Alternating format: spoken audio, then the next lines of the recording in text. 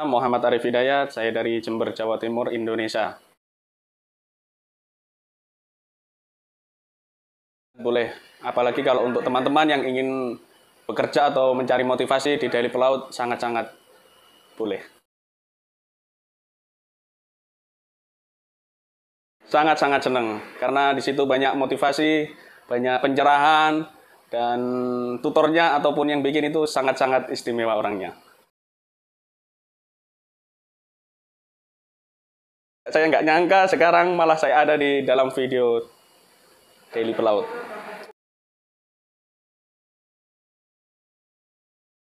Posisi saya di kapal Jana 36 sebagai steward.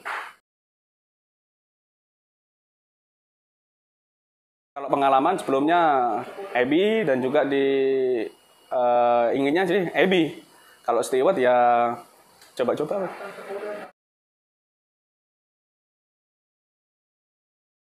Kalau masalah perasaan sih ya biasa-biasa saja, dibikin enjoy dan dibikin seneng. Soalnya semua pekerjaan itu harus kita tekuni, kita jalani dan kita nikmati.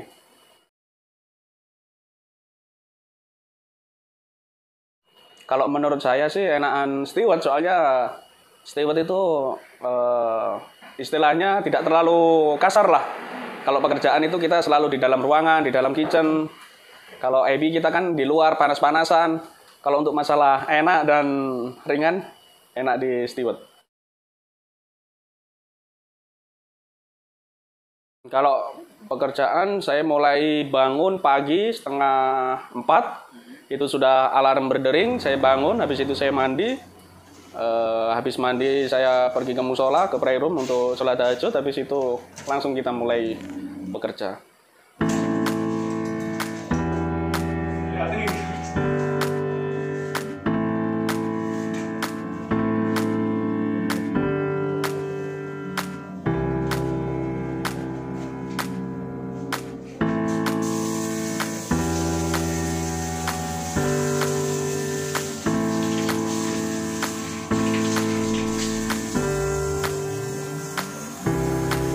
Nggak ada. Kalau untuk steward nggak ada nggak ada sip sipan uh, rekan dua orang sip sama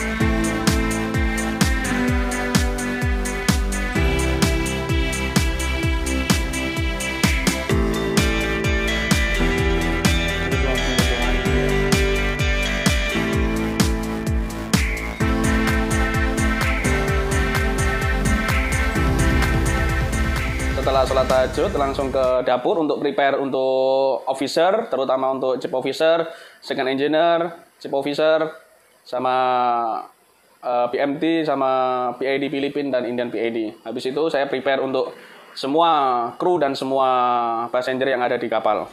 Cuma prepare aja.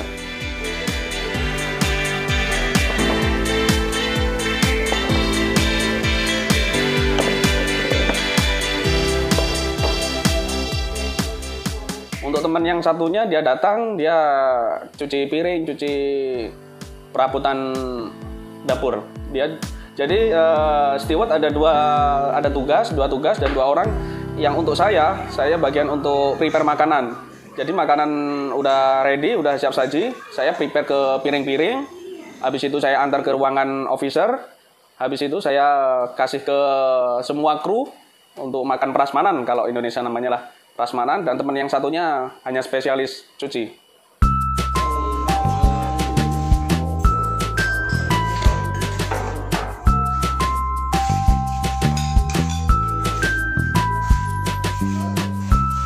Yang bungkusin saya. Jadi koki itu cuma masak, kerjanya cuma masak. Setelah masak ya udah ditaruh di tempat uh, table, ditaruh di meja. Habis itu saya yang ngambil, saya yang prepare, saya taruh di piring-piring. Habis itu saya yang nganter ke ruangan officer. Oh ya, sebelum prepare saya pastikan ruangan officer sama mess room itu harus kondisi bersih. Jadi sebelum saya prepare makanan, pertama yang harus dipastikan uh, ruangan harus harus bersih, harus dikontrol sebersih mungkin. Kalau setelah bersih, baru kita ambil makanan, kita taruh ke makanan. Taruh kita ke makanan ke office room atau mess room. Oh tidak, kalau untuk masalah itu, jadi makanan sudah ada ditaruh meja, meja officer. Jadi di officer itu sudah tertulis lah. Ini untuk chief engineer, second engineer, chief officer. Jadi begitu officer makan, selesai makan, eh, biasanya saya ngambil piring ataupun officernya datang ke gale. Jadi nggak nggak kita tungguin.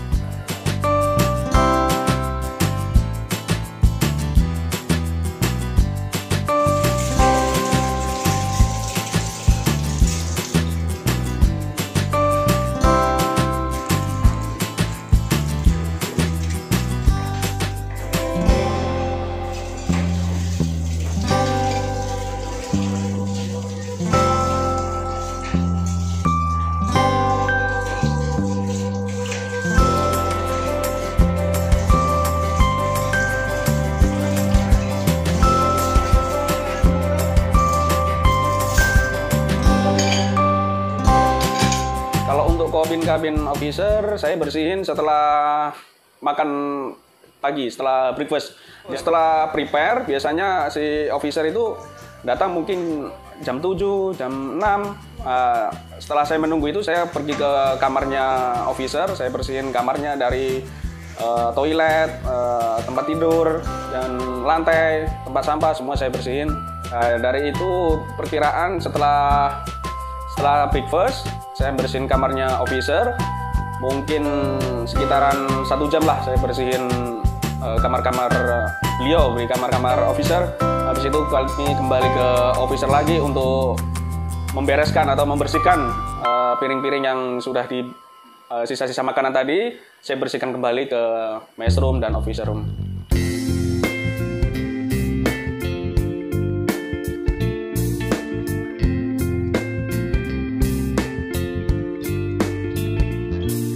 Wajib itu kalau untuk bekerja di kapal terutama itu safety first.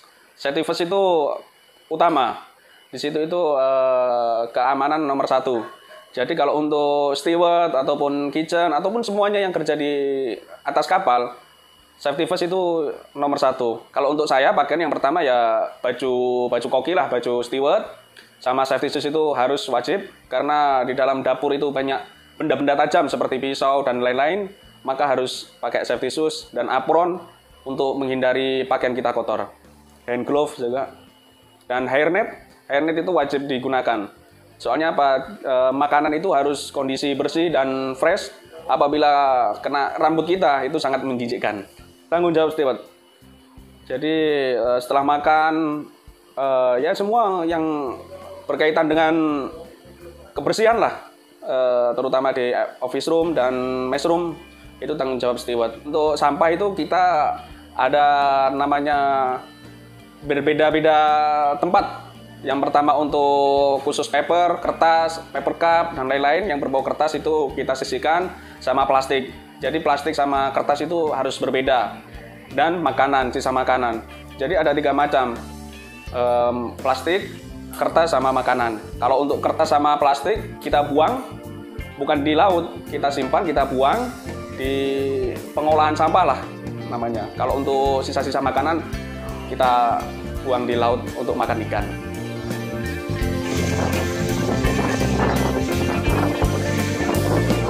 Kami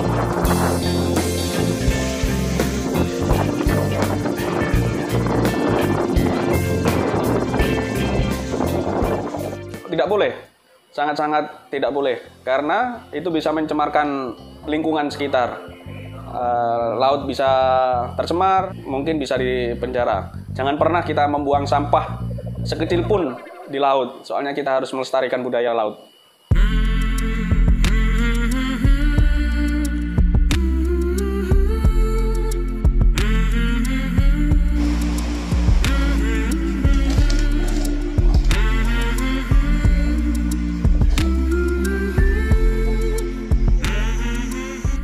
Saya di dapur biasanya bersihin sisa-sisa makanan, terus ngepel, eh, bersih-bersih peralatan-peralatan dapur. Dan saya juga sering membantu kitchen, membantu koki eh, untuk eh, contohnya bikin sambal, bikin goreng kerupuk, bikin bubur lah sebisanya saya. Soalnya saya Indonesian ya banyak juga yang kru dari Indonesia, ya banyak yang request untuk bikinin bikinin makanan-makanan Indonesia.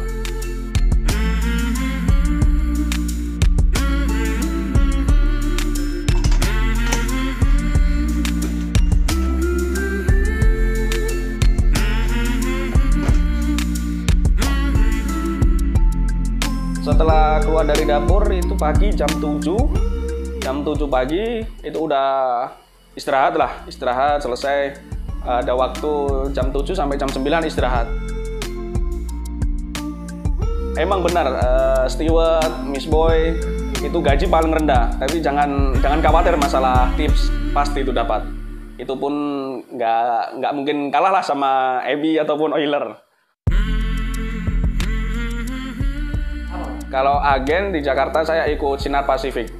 Jadi kalau agen di Jakarta untuk memberangkatin di Aramco, khususnya di Saudi Arabia di sini banyak-banyak agen.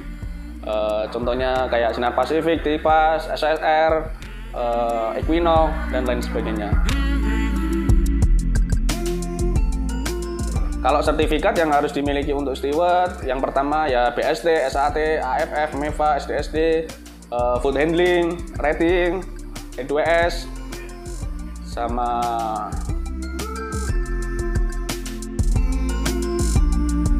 Jangan lupa like dan subscribe. See you next time.